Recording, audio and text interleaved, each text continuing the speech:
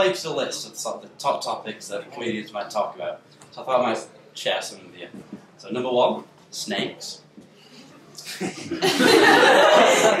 Just- just imagine God inventing snakes. So fifth night, fifth day created alcohol. So sixth day, bit rough. Ah, just uh, have a body and stick a face on the end.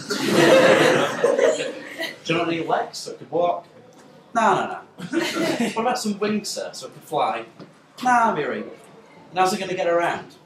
So body pop around like a quadriplegic having an exorcism.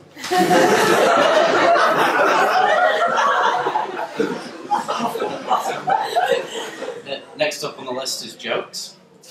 For example, the other week I invented a new word. Plagiarism. Made that joke up myself. A limbo dancer walks into a bar. I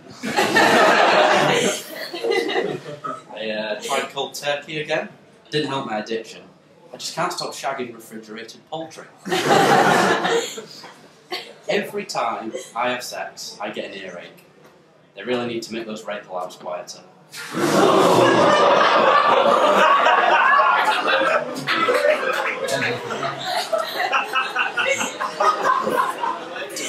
Toilets are a bit like sex.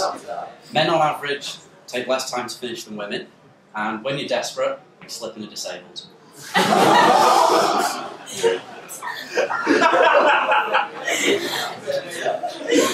Uh, police asked me if I knew anything about any crimes my dad's committed.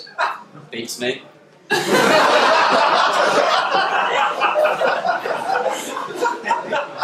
I was uh, chilling with a friend the other day. He said, "Well, why have you only got one sock on?" I was like, "Ah, other one got Madeleine McCann." An extreme of saying you lost it. Like, nah, didn't lose it. Just under my bed and full of spunk.